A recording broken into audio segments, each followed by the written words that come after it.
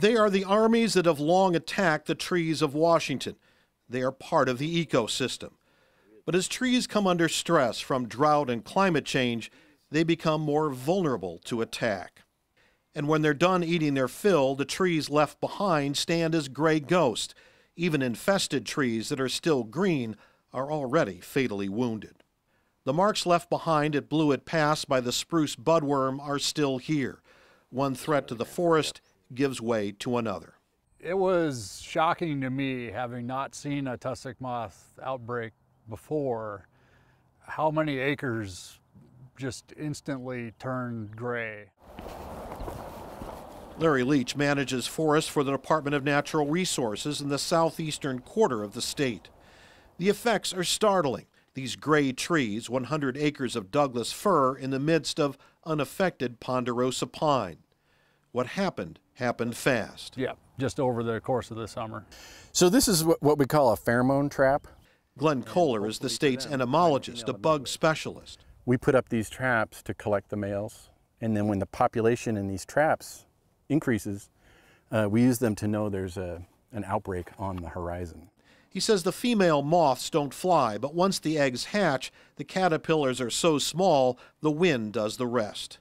So to get to new areas, these will blow on the wind and sometimes you'll get them to come to ridge tops mm -hmm. uh, and you can start a new outbreak. Taking out the stand of trees helps them get ahead of the problem. So if a fire starts down there, it will stop here instead of taking off and exploding. If you look over here, there's a couple more. On the west side of the state, a big enemy is fungus, what they call root rot, killing trees by cutting off their ability to absorb nutrients. They lose their tops and then topple over, unable to stand with their roots gone. In western Washington, the root disease is just as impactful, if not more, uh, as it is on the east side. In 2015, aerial surveys found 338,000 acres of sick and dying trees. By 2019, that had nearly doubled to 658,000. But it can take time for the impacts of one year to show up in another. Take these aerial photos. This image was made in 2015, the record drought year. This forest looks healthy.